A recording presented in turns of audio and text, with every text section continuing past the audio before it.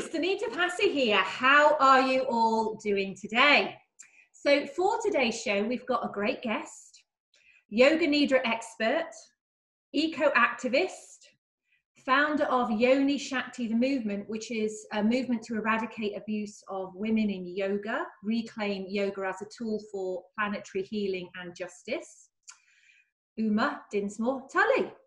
Now, Uma teaches UK in the UK and also internationally. Um, her work is all about empowering teachers and individuals to discover their own response to the experience of yoga. And the big focus is on women and women's health. And she's very much inspired by Laleshwari, um, whose work is all about compassion, common sense, knowledge, and resistance to authority. Welcome, Uma. Welcome. Hi. Thank you so much for inviting me, Sunita. Thank you. It's Thank nice. you. Delighted to delighted to spend some time with you. Now, Uma, what experience led you to working with, well, specifically Yoga Nidra, and I guess yoga as a whole platform? Okay, so that to, to make a, a short answer, I first met yoga in 1969 when I was a little girl and there used to be a, a telly program on you on Thames TV in London. And I my mum used to do it. So she would practice yoga and I would practice with her. And so that goes back a long way. So it was part of my life for a long time. And it wasn't until um, I got to college, I got teachers, you know, who were there, but I did it sort of out of the book from this TV series. And then I trained as a yoga therapist. But you know, it wasn't until I was actually pregnant on my first son, who's now 21, but when I was a pregnant woman, I realized how yoga therapy could be really helpful for my experience of pregnancy, but that a lot of sort of standard yoga really wasn't up to the mark. So my special project when I was training as a yoga therapist was all about yoga for pregnancy. And since then it's expanded into every other aspect of women's women's health, looking that so that sort of started me on that particular journey. Okay. And what, what kind of, um, what does your approach offer over and above, say, other modalities, the way that you do it? Because I know it's a very unique way that you've evolved and developed over the years. And that, you know, that's also, you know, there's, there's many women that come and teach that, that, that study with you and guys as well, but I think it's predominantly women. Yeah, it's mostly women. And I'd say the reason people come and seek out this approach to yoga therapy is because it's very nurturing, it's very nourishing and it's always guided by the individual. So there's nothing standard about it. And i think that's the thing that's really particular about about yoga therapy in general. So you won't get a you know the, the yoga therapist will always tune into the individual or the group experience with those individuals present. But um, yeah and i think what i offer is I, I use a lot of yoga nidra. So there's a lot of rest. I see a lot of people very exhausted and a lot of women's health issues are really they're really exacerbated by exhaustion and so rest is a big part of it and the constructive rest of, uh, of yoga nidra very gentle movements but also movements that strengthen in a it's a nourishing kind of it's all about nourishment and nurture and really supporting our health and well-being at every phase of life. So that's that's and it's that mixture of movement. I use uh, yoga nidra sometimes sound a little bit of mudra and um, and uh, mantra and you know what what's mm. yeah. So it's, it's that combination i think is a lot of elements that are present in many other ways but it's that, that particular combination i think is what people come looking for. So that that is that is uh, uh, on that biggest sphere that's interesting you know with the training and what they're looking for. Now people also come to you for one-to-one zoomer so, so as a practitioner, you're an, an experience with Uma. What do you do in the? What would you say you do in the field that others don't? Well, I think the key thing is that very often when I'm working with a client individually, um, you know, I'm listening to all the uh, the elements of of of, of their their well-being at that time their physical well-being emotional and psychic but one of the things i usually do is to create with them a special yoga nidra practice that is basically unique. So in listening to the people they'll you know somebody might explain about what's occurring in their life and we co-create a nidra. So that means i listen to the words that the person says and then work that into their own special nidra. So very often people will go away from the session with maybe breathing practices or relaxation practices or movement practices, but they will mostly also take away a recording that has that's theirs basically, and it's the right length for them. It fits into their day, and it's quite special. I know people sometimes have them for years. They have them on their phone or they download them on their computers, and so it becomes something that they listen to every day, and that that's that's I think that's the the unique ingredient. yeah, I love. well, that's really, yeah. listening to people. You know, I really listen, listening like like all all good practitioners. You know, mm. it's mostly about hearing where people really are yeah. and responding to that in a realistic way. I don't like this idea. Sometimes people feel a bit guilty, you know. They avoid their yoga teachers or their Ayurvedic practitioners in the yeah. because they're like, oh my God, I haven't done that thing that they told me to do. Yeah. I'm up and doing 500 Surya Namaskars every morning or whatever it is. And I'm like, no, let's make it realistic and doable because it's better to give something someone like a 15 minute practice to do or something and then actually have them do it than to say you've got to do an hour and a half and then have them feeling guilty i mean yeah. that's that's not absolutely. No i i, I I'm, I'm, totally with you there you know and um and, and what ends up doing is it, it takes the joy out of it all you know so it so takes the joy and then nobody does it. Nobody that's does the, king, the thing about yoga therapy right is that it only works if you actually do it so you hmm. can go and receive a massage, and that's lovely because you lie down and you have a bit and you receive that in just being there. But with the yoga therapy, you'll come and we will do the practice and we'll do the. But basically, if you want it to to make a change in your life or to support you, you do have to.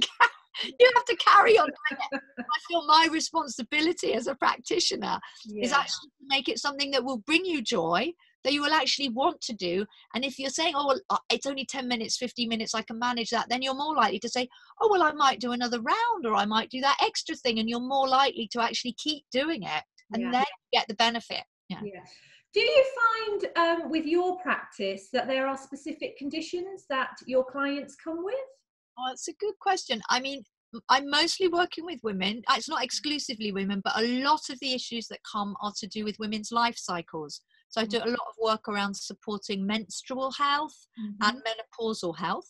Mm-hmm. And I've also worked quite a lot with fertility. So women seeking to conceive or who've had challenges um, around pregnancy loss.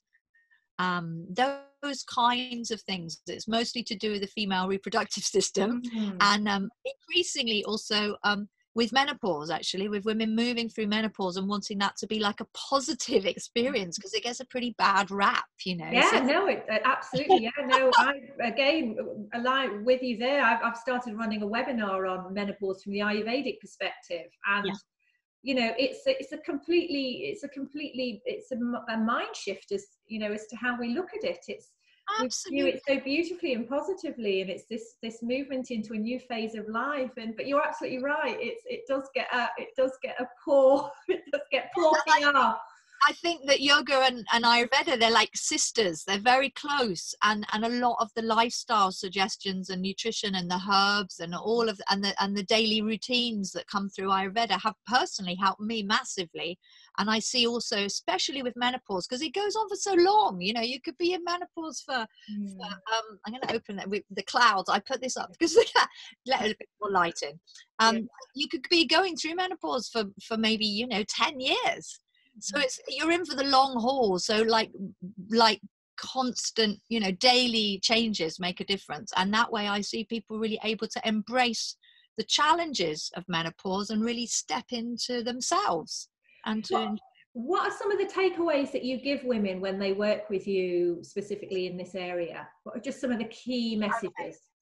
Okay, so the key message is about compassion and kindness to yourself. Mm. um actually making time to rest, I would say, is at the top of the list. Because mm-hmm. basically, if you can't do that, you can't do anything. I mean, when you feel tired, everything will feel worse. You feel depleted. So I think the very top of the list is is to um to make time. I mean, I you know for yoga nidra and adequate sleep.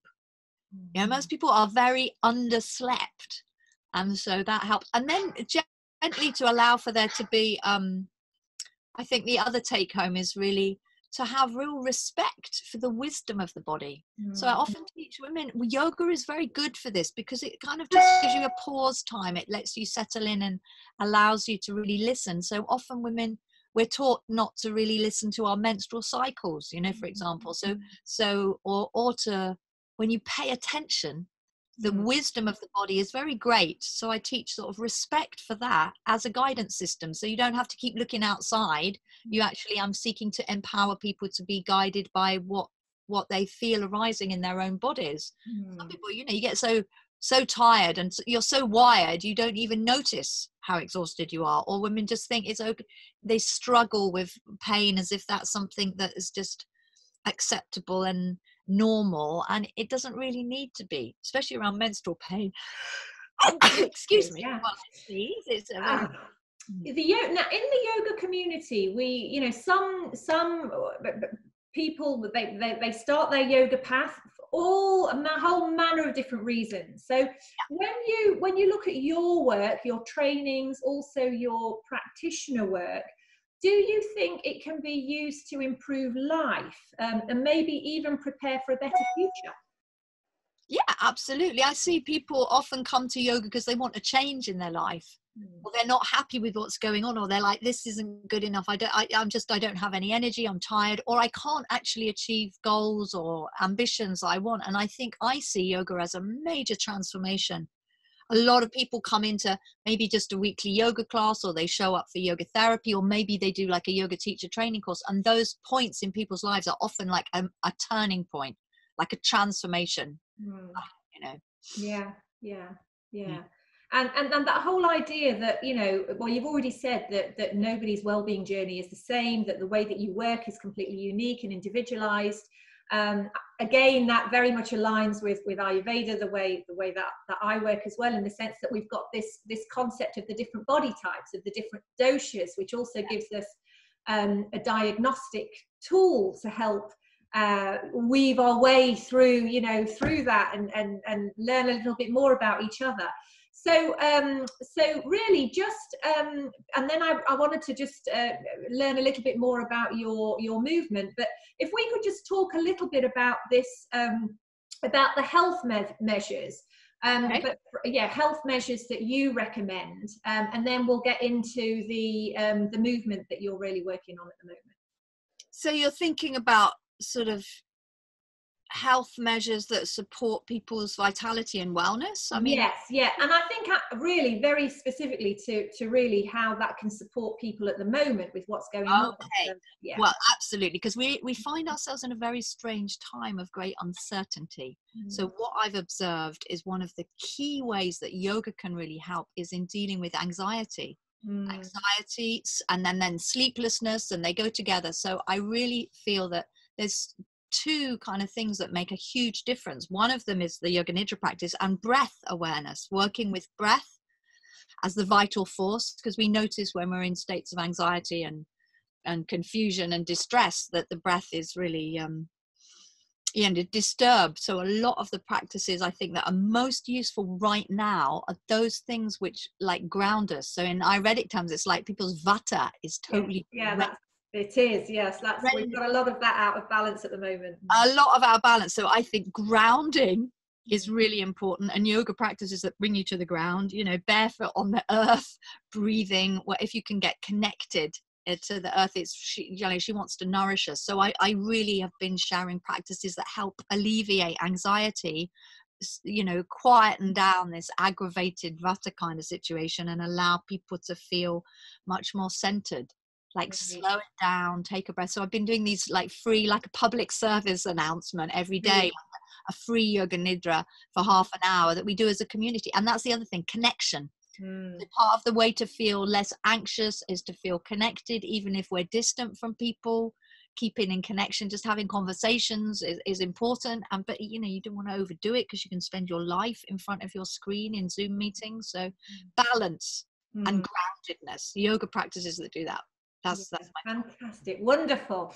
So just um, before we uh, before we say goodbye uma could you just tell the viewers a little bit more about the yoni shakti yoni shakti the movement? Um, what what is it about? How can people get involved? And then also just how they can contact you for all your amazing work all right, so thank you for the opportunity to speak about this. So, Yoni Shakti is source power, and I have to flash my book here. So, I wrote this book called Yoni Shakti A Women's Guide to Power and Freedom through Yoga and Tantra. I actually wrote it in 2012. It's a very big fat book. Mm-hmm. And so it, it, was due a relaunch because a lot of new, um, quite shocking information came out about about abuses and you know financial improprieties and sexual violence and things within yoga communities actually. So i've relaunched the book with new information and it's an opportunity to actually launch a much bigger campaign to raise people's awareness of how there is indeed you know gender based violence and abuse within yoga teaching organizations individual teachers. So it's about raising awareness of that so that we can then reclaim yoga as it as a tool for healing just like Ayurveda is a tool for healing and justice and freedom. So I have launched this movement, Yoni Shakti, the movement.com. We have a crowdfunding campaign which runs until the 5th of June. So if you want to support this work, it's an education and public awareness campaign mm-hmm. to change uh, uh, yoga education so that these things don't happen anymore. It's also representative of all the kinds of uh, gender based violence and abuse that happens to women in the wider world. So, my mm. trust is that if the good hearted people of the yoga world can get together and sort our little corner of the web out and say enough is enough and we're going to sort this out then we we actually are able to to be part of a much wider campaign seeking for justice at every level you know, so that we can address structural racism and misogyny. It's a huge project. So I've got a very visionary idea that actually a trending my little piece of the web in this world is the yoga world. Well, I thank you personally, and um, you know, I'm sure millions and millions of other people are saying are saying the same thing. Yeah. Um, so that's that's that's great. And then just finally, how do people contact you, Uma? Okay, so yeah, so that the, if you want to get in touch with the movement, you go to yonishaktithemovement.com. But my site, um, you can find me at yonishakti.co, co, and that there's you can um book one to ones and that kind of thing with me. So that's an easy way to find me um there. Thank you so much for giving me to speak about this. Thank you. It's Thank a you very much. Thank you. Sunita. Keep up the work of keeping everybody well. Thank you, my dear, and um, we'll we'll have you back for longer next time. Absolutely.